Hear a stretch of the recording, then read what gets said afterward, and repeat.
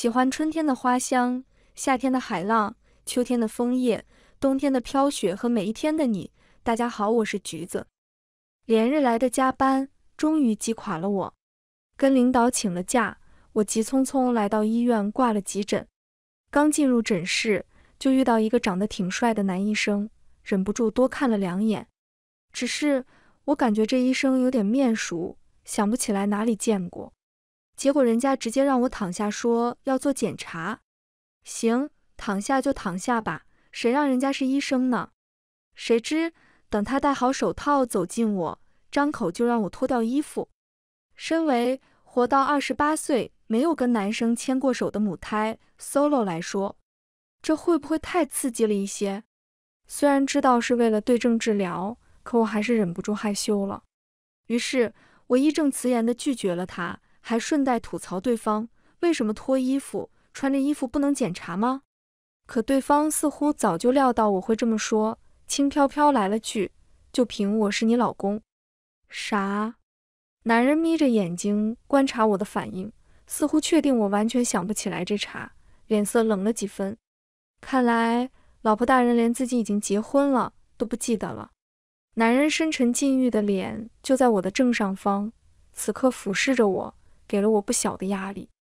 我这才恍然想起，这人怕不是自己那上个月才扯证的便宜老公。能单身到二十八岁并不容易，首先就要练就抵挡每月被催婚的能力。刚开始，催婚大军只有我妈一个人，偶尔催得急了，我爸还会在旁边替我美言几句。孩子大了。有自己的想法，不嫁人也好，咱们也不是养不起。时间久了，我爸也坐不住了。我妈明着催，他花式催，不是对着喊爷爷的七个葫芦娃回答爱，就是去楼下抱别家小孩来刺激我。眼看还是催不动我，好家伙，家里七大姑八大姨全部出动，基本上相亲就跟流水线似的，一个月一场，从早排到晚。生产队的牛都不敢这么使。我在研究院工作，平日里工作很忙，偶尔放假还要相亲，让我不胜其烦。终于在一次相亲的时候，我彻底爆发，逮住一个看着还算顺眼的路人，打算来个先斩后奏。而这帅哥正是我眼前这个一脸不满盯着我的男人，叫啥来着？哦，对了，扯证的时候我瞥了一眼，叫江宇。名字还挺好听。那天领了证，互相留了联系方式后，我们就分道扬镳，中间再未联系过。没成想，对方竟然是个医生，自己还成了他的病人。想起来了，可以脱衣服了吧？江宇似乎并不打算放过我，仍旧执着于让我脱衣服。形势比人强，我忍了。因为羞涩，我微微错开视线，闭上了眼睛。这才把衣服往上拉了拉，露出腹部，冰凉的触感按压在我的肚子上，稍微一用力，我就痛呼出声：“啊，疼！轻点。”嗯呐，我偷偷把眼睛睁开一条缝，打量江宇，不知道是不是错觉，我感觉他的耳朵好红，而且我这个角度看过去，正好看到他完整的侧面。让我瞬间想到一句话来：“陌上人如玉，公子是无双。”用来形容江宇，怕是一点都不夸张。许是我的视线太过直白，江宇收回手，看向我：“好了，是急性阑尾炎，需要动手术。对了，你倒也不用叫的那么视死如归，因为是急诊，外面还有很多排队的人。我进来的时候并未关门。”检查的时候也是把帘子拉了起来，隔绝了外面人的视线。江宇说完那句话，我明显听到外面有人扑哧笑出了声。很好，直接射死！我愤愤地瞪了江宇一眼，可江宇视若罔闻，毫不拖泥带水地坐回诊台，开始刷刷刷开病历，边打字边说询问做吗？我思绪飘得太远，以至于刚听到这句话，一时间没有反应过来。不好意思，我承认我想歪了。江宇看着我的脸色，似乎意识到我在想什么，不自然地撇开眼睛。我问你手术做吗？他又重复了一遍。而我意识到自己想歪了，脚趾已经在自动扣三室一厅了。江宇怕不是我的克星吧？今天我的智商严重不在线了。见我不说话，江宇叹口气，凑近我，用别人听不到的声音安慰我道：“等你身体好了，也不是不可以，也不是不可以，可以什么？”我脑子快速运转一圈，后知后觉的反应过来，江宇说的是做吗？也不是不可以。天呐，这都是什么虎狼之词？我不过是来看个病而已呀。询问间，江宇已经开好了住院单，塞到我手里，直接去五楼住院部办理住院手续，费用我会去交的。我帮你喊了护工，我忙好就去看你。对了，手术安排在明天一早。今天先用消炎药止痛，乖，听话。我被这最后一句话砸晕了，除了我爸，还没人这么喊过我。直到我走出诊室，脑袋都是懵的。江宇这是哄小孩呢？然而，等我办理完住院手续，我妈的电话就打了过来。我沉着心点了接通。死丫头，证都扯了，我和你爸还没有见过人，赶紧带回来，不然我们就当没有你这个女儿。我刚想说话，肚子又痛了起来，一出口的都是呻吟声，我自己听了头皮都发麻。电话那端的人突然就沉默了，我缓了一会儿，刚开口说了个妈，你听我解释。那边迅速挂断了电话，传来一阵嘟嘟嘟的忙音。完蛋了，我妈不会以为我在干什么见不得人的事吧？果然，不一会儿，相亲相爱一家人的群里就炸开了。罪魁祸首不用猜就知道是我妈。我忍着痛翻看聊天记录，我妈，家人们，好消息，我要当外婆了，撒花撒花表情。我爸，我家乖宝下手就快准狠，刚领证就生孩子，爱心爱心表情。七大姑八大姨们，恭喜恭喜，婚宴和孩子满月一起摆酒，双喜临门啊！家里小姨辈们。向姐姐学习，一脱单就生娃，加油！表情，我打住，我要生孩子了，我怎么不知道？惊恐表情，我妈，关键时刻你看什么手机？滚去生孩子！嫌弃表情，看着手机提示，你已被挪出群聊，我绝望了。身为新时代网瘾少女，转手我就发了个朋友圈，目前这情况。是不是不生个孩子出来就不礼貌了？在线等急，护士给我扎上了止痛消炎针，我感觉没那么难受了，就躺着刷手机，看着刚才自己发到朋友圈的截图，底下评论五花八门，我笑得花枝乱颤。不痛了，笑成这样，低音炮在我身侧响起，我顺着声音转过脖子望去，是江宇来了，被造谣和我生孩子的正主来了。我哪里还敢躺着，挣扎着就要坐起来。江宇急忙伸出手按住我，示意我躺着就好。好死不死，那骨节分明的手正好按在我的身上，又被他快速收了回去。看着他憋笑到通红的脸，我深刻怀疑他是故意的。果然，他以检查身体为由拉住了床帘，突然靠近我低语：“你想生孩子，也不是不可以。”消毒水的气味喷洒在我的脸上，惹得我背脊窜上一股酥麻。和他靠得太近，江宇琥珀色的眼神盯着我，让我不自在地错开了眼睛，小声嘀咕：“生，生就生。”美色惑人，但我气势不能输。然后我就感觉身上一凉，病号服被他掀开了，我大惊失色，用力把他手打开，啪的一声，下手颇重。可我顾不得这些了，手忙脚乱地捂住衣服，缩在床头，恨铁不成钢地教育他：“我可没说在医院里生孩子。”江医生，你注意影响。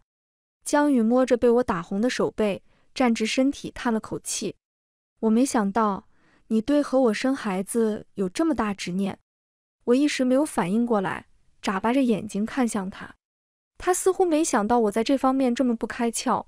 半哄半强迫地拉过我躺下，乖，我只是做个检查。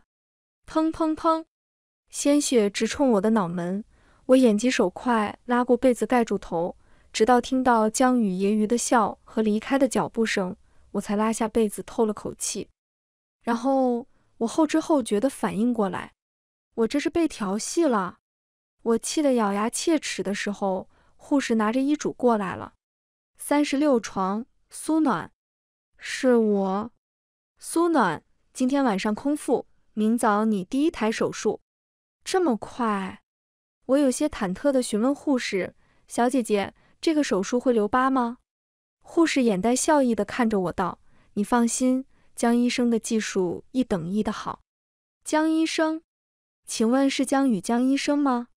似乎奇怪我会这么问，护士纳闷地看了我一眼，又帮忙调整了一下输液带的速度，才回答我：“对呀。”还能是哪个江医生？你放心吧，别看江医生年轻，技术可好了呢。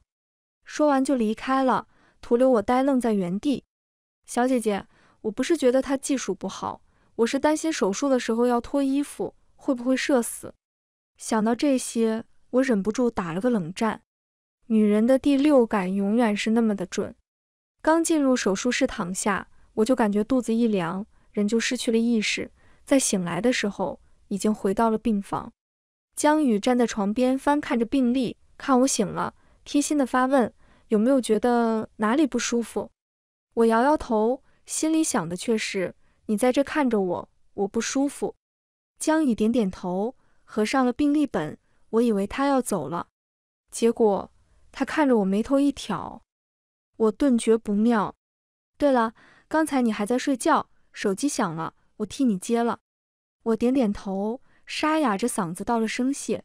谁打来的？咱妈。她说等你身体恢复了，让我带你。哦不，让你带我回家见见爸妈。瞧瞧，这人脸皮厚的堪比城墙了，面都没见过，爸妈就喊上了。我忍不住抬起一根手指指向他，想骂他无耻，竟然趁我病登堂入室。结果。就被他温热的掌心给一把包裹住，然后他温情脉脉地跟我说：“别激动，伤口缝了三针呢。”我一口玉气憋在胸口，当场败北。我在医院住了两天就出院了。出院之前，江宇叮嘱我一周后回来复诊。这会儿我正半靠在沙发上刷着综艺，嗑着瓜子，还不忘跟闺蜜开着外音煲着电话粥。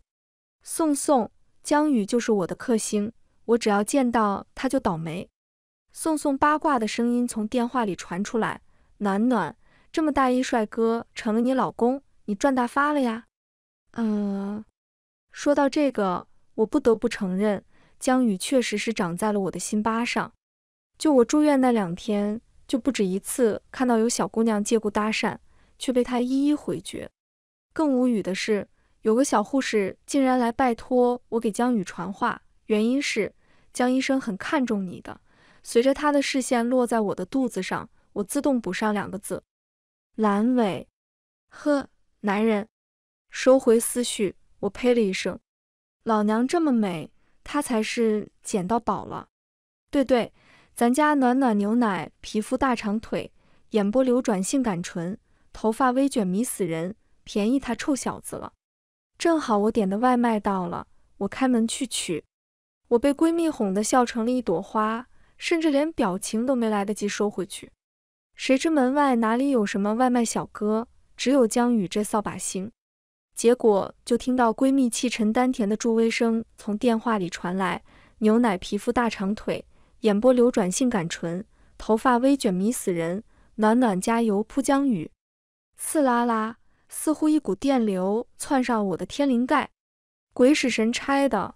我把门砰的一声就关上了，然后颤抖着手挂断了闺蜜的电话。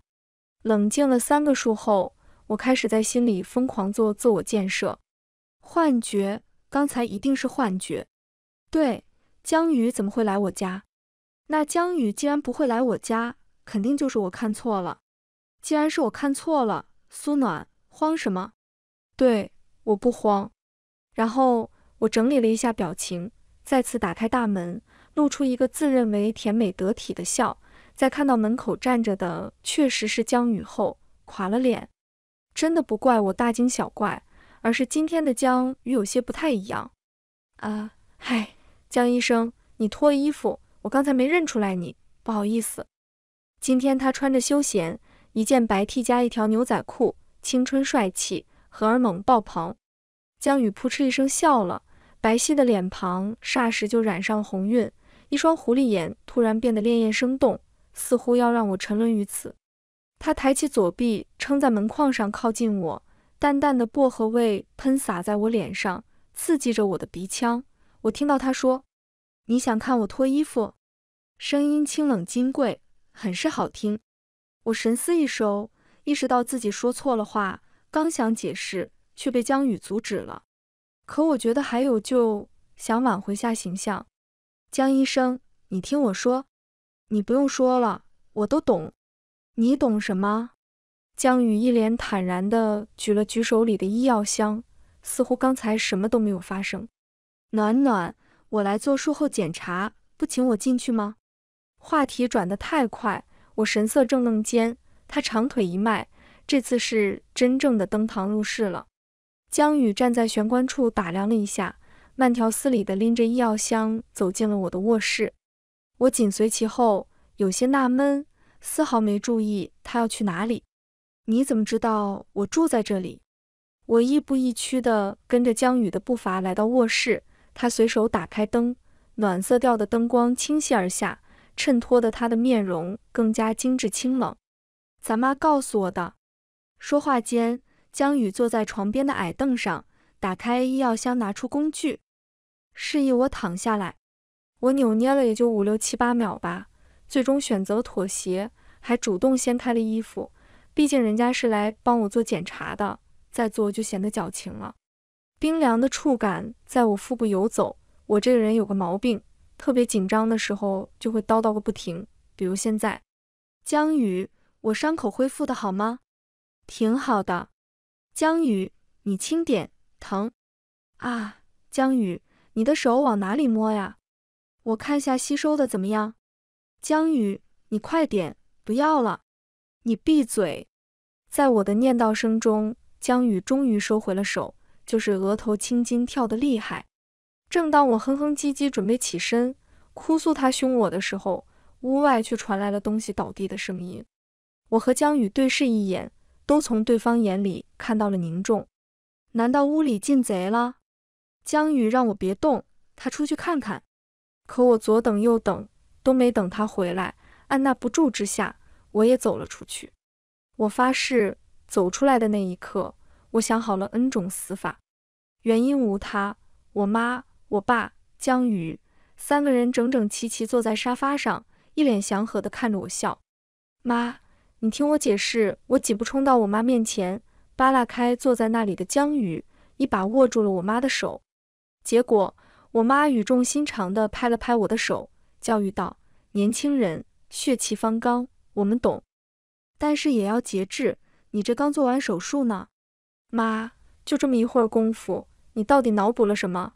我有苦难言，看向平时最疼我的老爸，希望他能帮我转移一下压力。结果，老爸红着眼眶，欣慰地看着我：“暖暖，你跟小江已经结婚了，怎么能分居呢？今天我拍板，你搬去小江那里住，看缺什么，爸给你们打钱，喜欢什么买什么。小江，以后我们家暖暖就拜托你了。”什么情况？我整个人麻了。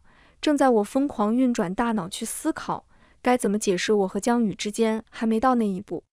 江宇说话了：“爸妈，你们放心，暖暖这里离他单位有些远，我也有意他能尽早搬过去我那边，不过还是要尊重他的意愿。”话落，深情地看着我，一圈人都等着我的回答，特别是我妈。她靠近我，小声嘀咕：“你要是敢耽误给我生外孙，我要你好看。”在老妈老爸的助攻下。我当晚就搬入了江宇的家。我爸妈离开之前，还语重心长地告诉我，家里这缺根筋的大白菜终于送出手了，我们得大大的操办操办。我原来在我爸妈眼里，我就是一颗大白菜。江宇家很大，大概有一百四十多平，却只住了他一个人，父母都在国外。屋里装饰简单，除了黑就是白。江宇贴心的把主卧让给了我，自己主动搬去了次卧，这让我悬着的心稍稍有些安定。我真的没想过，不过是生病住了场院，就能和他有了这么实质性的发展。不过，自从我搬过去后没多久，我的身体也彻底好了，腹部的伤疤不仔细看几乎看不出来。有时候我还会开玩笑的调侃江宇，江医生技术不错。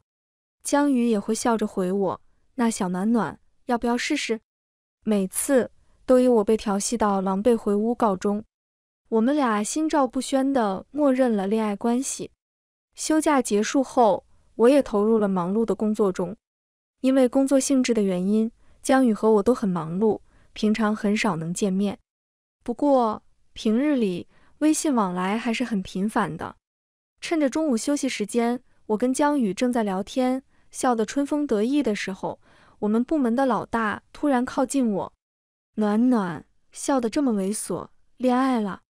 我立马捂住手机聊天界面，假装恼怒的回怼他：少八卦，多学习。哟，万年侄女开窍了。诺，别说胳膊罩着你，两张票，拉近感情的好机会，记住拿下对方，为咱们研究院万年光棍证明。然后。老大把两张入场票拍我桌子上，给我使了一个你都懂的表情就走了。我拿起入场票一看，全球智能人工一体化研究论坛大会，我瞬间眼神都亮了，就像打了鸡血般亢奋。这论坛对我来说确实是好机会，增进见识的机会。毕竟我在研究院主要就是做这类项目开发研究的。当即我就拍了张照发给了江宇。想问问他有没有时间，可江宇却回了我一个：“我，我们去约会吧。”江宇，你管这叫约会？我多浪漫啊！江宇，暖暖，你怕不是对浪漫有什么误解？我，你在否定我的审美？江宇，不，我只是觉得你的浪漫有些惊人。在我疯狂安利江宇去参加论坛后。以江宇提出陪他看场电影为代价，成功说服了江宇。可惜我如愿了，江宇没能如愿。论坛大会结束后，我就被他带到了后台休息室，里面正好坐着我的偶像江天峰。江天峰，人工智能方面的大能，是我崇拜学习的对象。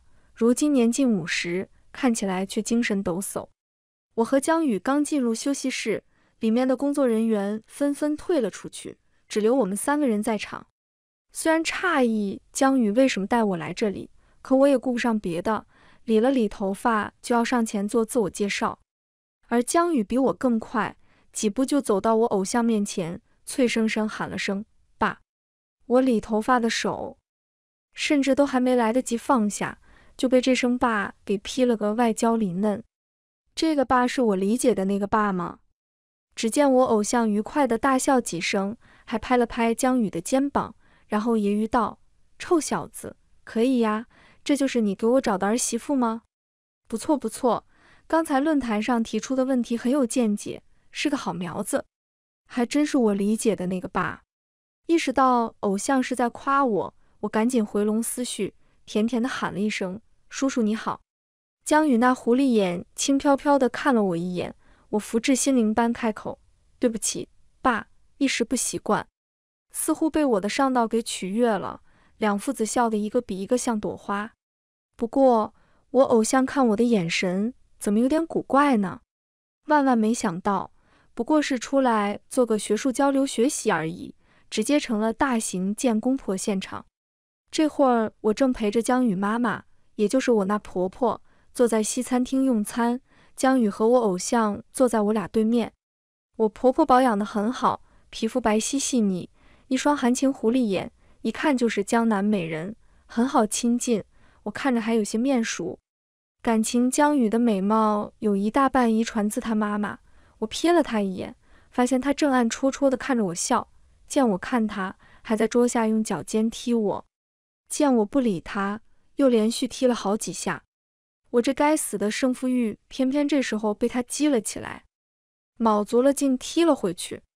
结果江雨鬼叫一声，吓了我一跳。我赶紧正襟危坐，不敢再动弹。江宇的爸妈自然把一切都看在了眼里，似乎是确定了我们俩感情不错。江宇妈妈握住我的手，顺势就给我戴上了一个透绿的玉手镯，看样子就价值不菲。我赶紧推辞：“妈，这太贵重了，你还是留着自己戴吧。”结果江宇妈妈笑得更加夸张，看得我分外心惊。只听她说：“暖暖。”你小时候不是整天喊着说要我这镯子吗？我说这是给我儿媳妇的，你怎么说来着？江宇爸爸笑呵呵的开口了：“你说你长大要给我们老两口当儿媳妇啊？”我不是，我没有，你们胡说。直到这刻我才想起来，为什么看着江宇妈妈这么面熟，为什么江宇爸爸看我的眼神那么古怪？原来江宇的妈妈是我亲妈的闺蜜。小时候我见过几次，而且每次见面都吵着闹着要她手上的玉镯子，如果不给我戴，就又哭又闹。为了如愿戴上这玉镯子，小时候我没少嚷着要做她的儿媳妇。天哪，作孽呀！江宇见我一脸的不可置信，又踢了我一脚。没想到你小时候就哭着喊着嫁给我了。我知道他在开玩笑，可我完全笑不出来。因为我又想起了另外一件事，如果他的妈妈和我的妈妈是闺蜜，那么我们俩扯证这件事就不是偶然，是某人精心策划的结果。怪不得我随便拉个陌生人提出结婚就顺利扯证了，怪不得我爸妈见到江玉的时候一点的惊讶都没有，怪不得江宇对我那一声熟稔的暖暖。原来如此，我被人算计了。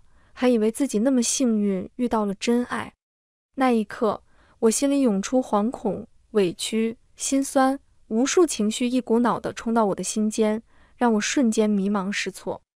我平静地褪下了手上的玉镯子，把它放在桌子上，推到江宇母亲面前，似乎是没想到我会有这么大反应，所有人都愣愣地看着我。梅阿姨，这手镯太贵重了，我需要考虑一下，抱歉。说完，我就站起身，迅速离开了餐厅。出门打了车，就疾驰而去。江宇在我身后的呼唤，我听到了。可我现在心头一团乱麻，我需要时间。我并没有回去我和江宇的家，也没有回去我自己的房子，而是直接回去了我爸妈家里。我爸妈家住在顶楼最上层，有个小阁楼。我一回到家，就直奔阁楼而去，那里有我想要的东西。我爸妈都不知道我怎么了，看着我呼了一脸的泪，担心的不得了，一致认为是江宇欺负了我。我爸气愤之下就要给江宇打电话，却被我拦住了。爸，不要打，我需要时间冷静下，重新考虑下我和他之间的关系。我爸和我妈面面相觑，似乎没想到真的是吵架了，顿时吸了旗鼓。我在阁楼里翻了两个小时，才找到要找的东西。看着上面泛黄的字迹，我的心情才平静下来，露出了微笑。如果没搞错，江宇以前还有一个名字叫江萌萌，不光名字土，人也胖胖的，远没有现在那么帅气迷人。高中的时候，班里有个转学生，据说是父母工作太忙，没时间管他，所以成绩很差，又与人打架，才转到了我们学校，安排进了我们班。因为我是班长。所以老师就安排他成了我的同桌，要我多多帮助他学习。这人便是江萌萌。谁成想，江萌萌每天上课不是在睡觉，就是在玩游戏。这对于身为班长的我来说，无疑是挑衅我的权威。所以我总是苦口婆心地督促他好好学习，还熬夜给他整理学习笔记，但都收效甚微。有一次月考，他考得很差，平均分三十都不到。班主任很生气，骂他拖了班级的后腿，扬言要让他退学。是我不忍心，替他为班主任老师说了好话。谁知他开始变本加厉，到处散播喜欢我的谣言。这谣言传着传着，就传到了我爸妈耳朵里。那天我记得很清楚，放学的时候，他塞给了我一个信封，要我回家再看。我没有多想，就照办了。结果。正好被进来卧室找我谈心的妈妈看到，她由此认定我在早恋，只因江萌萌在信里写着：“苏暖，我喜欢你。”我妈很生气，当即就给班主任老师打了电话。于是第二天，江萌萌就没有再来上学了。往后的很多天，我都没能再见过她，以至于后来她的离开成了我心里的一根刺。我总以为是我当年没有为他解释，才导致他的退学。可如今，他不光出现了，还改名换姓，叫了江宇，处心积虑地接近我，和我结婚，到底为了什么？想到最坏的那种可能，我心里堵得慌。在这些日子的相处中，我确实是动了心。我在阁楼里一直待到晚上，月光透过天窗洒落在我身上，我才轻轻挪动了一下手，把那封信小心地折叠起来，放进了口袋里。我并非喜欢逃避的性格，既然遇见了，就去解决它，即便他是来报复我的，我也认了。确实是我对不起他。等我从阁楼里出来，意外的竟然看到了江宇。他和我父亲正坐在餐桌前喝酒，见我出现，有些醉意的狐狸眼看向我，霎时就带了失意，看得我心里一酸，险些落下泪来。我爸看我出来，放下手里的酒杯，假意醉酒，让我妈搀着他回了房间休息。经过我身边的时候，还顺带敲打我：“小江是我盖章认定的女婿，有什么误会都让人把话说完再决定。”我麻木地点点头。果然是有了女婿忘了女儿的典型。直到我爸妈回了房间，江玉还是眼眶红红的看着我，没有进一步动作，那模样活脱脱像被我欺负了。叹了一口气，我上前拉起他：“你喝醉了，我扶你先去休息吧。”江宇很配合，随着我来到卧室。我刚准备开灯，谁知他走进来的瞬间，身子一歪，就把我圈在了怀里。这是我和他第一次这么近距离的接触，我有些不自在，轻轻挣扎了一下，结果江宇直接就把头搁在了我的肩膀上，闷着声道：“你不要我了吗？”这饱含控诉的话让我积攒了几个小时的委屈，顷刻间就崩溃了，啪嗒啪嗒的掉起眼泪来。黑暗中，我们谁也看不清楚谁的脸，但是我的抽噎声在这安静的夜晚显得异常清晰。我感觉到江宇浑身僵硬，摸索着捧住了我的脸，胡乱的给我擦着眼泪，语气里是明显的慌乱。暖暖，你别吓我，你怎么了？这么大人了还哭鼻子，着实让我觉得有些丢脸。我渐渐止住了哭声，干脆破罐破摔，抬头问他：江萌萌，你当年为什么散布谣言说你喜欢我？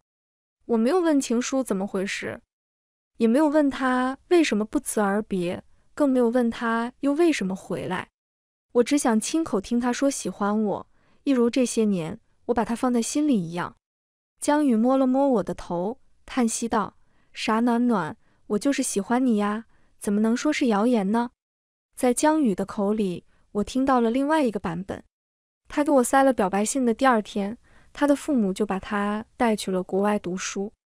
因为即便我为他求了情，班主任还是找到了他的父母，提出了退学的想法。江宇爸妈没有办法，只能让他出国读书，所以并没有告诉江宇实情，直接安排了他出国。而为了能早日学成回国，江宇开始变得很努力。可就在他努力提升自己，想要有一天完美的回国出现在我面前时，他听说我在相亲，实在坐不住的江宇。匆忙之中就回了国，并且和我爸妈串通好了那次偶遇。我妈和梅阿姨的感情不错，江宇的人品她自然是信得过的，当即就和全家演了一出逼狗跳墙的大戏。很不幸，我就是那只跳墙的狗。暖暖，我喜欢你，你呢？江宇的嘴唇就贴着我的头顶，呼吸间都是他身上醇厚的酒香，我被这香味熏得飘飘然，下意识就呢喃出声。我也喜欢你，是心砰砰乱跳的声音。江宇亲了我，什么纠结难过，在此刻都不重要了。第二天，我是被某人吵醒的，一睁开眼就看到江雨那双含情的狐狸眼，笑盈盈地盯着我。看得出来，他心情不错。可我只觉得浑身酸痛，眼睛涩然。和他一对比，我简直是受刑的犯人，而他是施刑的人。因为气不过，我忍不住掐了他的腰一把，却被他捉住了手，高举过头顶，而他说出口的话满是揶揄：“老婆，想要回家给你，爸妈还等着呢，快起床吧。”说完还亲了亲我的脸。一大早，我被他搞得脸红心跳，直到穿好衣服出门，脸都是滚烫的。我爸妈看了也只当没看到，招呼我们俩赶紧洗漱吃饭。搞了这么一场闹剧，害得双方父母都跟着担心，我的心里很过意不去，主动在饭桌上提出要两家人一起聚聚吃顿饭。江宇自然是最喜闻乐见的那个，当场就给江母打电话过去，定了时间。爸妈，你们周六晚上时间方便吗？我和暖暖到时候来接你们。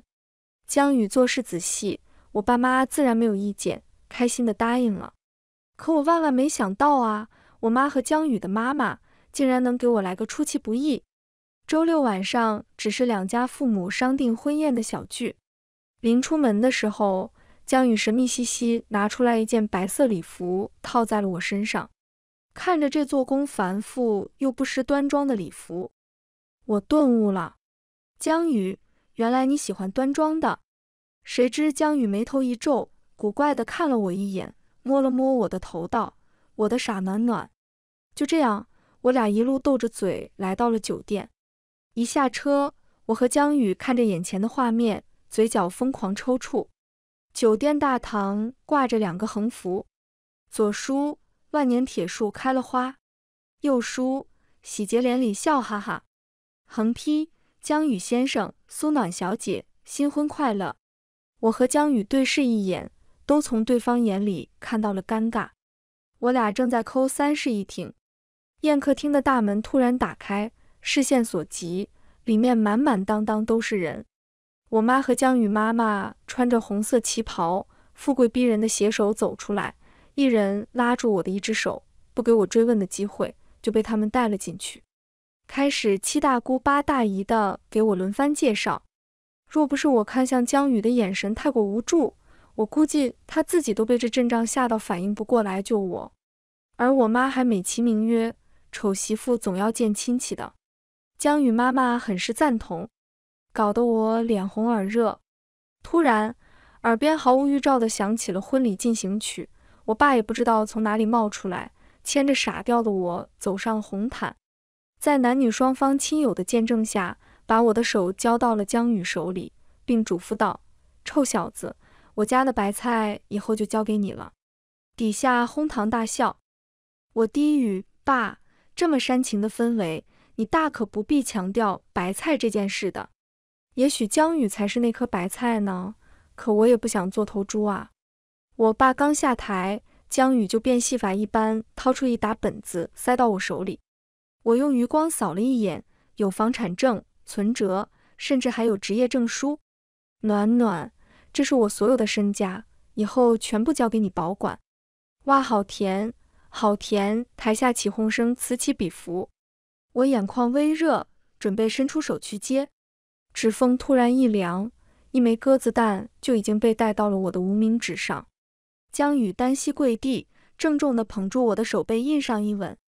我听到他虔诚的开口：“暖暖，你愿意永远做江太太，永远和我一起走下去吗？”在亲友的起哄下，我抿住嘴角的笑意，扬起手，假意嫌弃钻戒不够亮，故意逗弄江宇。哎呀，钻戒不够亮怎么办呢？我婆婆急忙把传家玉镯递了过来。暖暖，还有我的。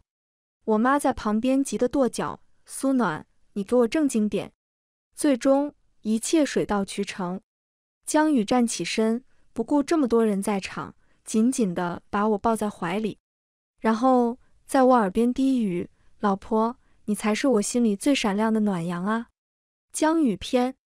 江宝宝三岁的时候去了外婆外公家玩耍，外婆拿出妈妈小时候的奖状，激励江宝宝：“宝宝啊，长大也要像妈妈一样优秀哦。”江宝宝眨了眨大眼睛，想起爸爸总爱缠着妈妈问棒不棒，他有样学样，含糊不清道：“棒棒。”外婆开心地亲了亲小可爱，走到厨房给江宝宝准备晚饭去了。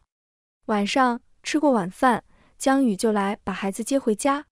等把宝宝哄睡了，准备洗衣服的时候，从江宝宝的口袋里掏出一张纸，不知道在哪里，又是什么时候被江宝宝给发现，并塞进了口袋，带回了家。江宇打开皱成一团的纸团，纸张微微泛黄，但看得出来是张信纸。因为时间过于久远，上面的字迹模糊不清，可江玉还是认得出自己的字迹的。